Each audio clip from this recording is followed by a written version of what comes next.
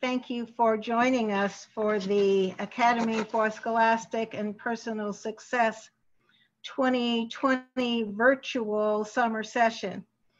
Uh, thank you for joining us in this brave new world of virtual enterprises. It's an enterprise for me. I'm really happy to have been surrounded by a staff that knows the ins and outs of, of this uh, computer technological virtual world because if it was left to me, we'd all be sitting around um, wondering what was going to happen next. Uh, we've had 22 students follow us into this new world and it has been very interesting, very interesting indeed uh, we have uh, a couple of new wrinkles to add to this summer's curriculum, not the least of which is a, a program on wellness that we added to our curriculum. We did that for two reasons, as it turns out. The first was because we felt as though our students needed to have some tools to manage uh, stress.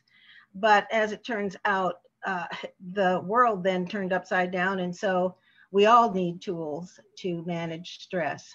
So our students came away with six new tools, including uh, mindfulness, uh, resilience, intersectionality, and uh, strengths. And so they will be able to use those as they move back into school, whatever shape or form that takes. And I think that parents might do well to ask their kids what they learned because we're all we're all pretty stressed out right now. One of the things that's non-negotiable about the academy is that students be taught by uh, teachers who look like them.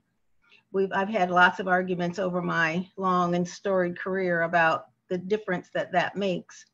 And if you ask any one of these young people, you will have them, I think, to a, a person um, agree that to be taught by someone who looks like you makes a huge difference.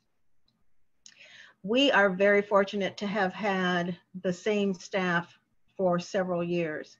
We have, I think, four students who have been with us for four years consecutively, and they're getting ready to start their senior years.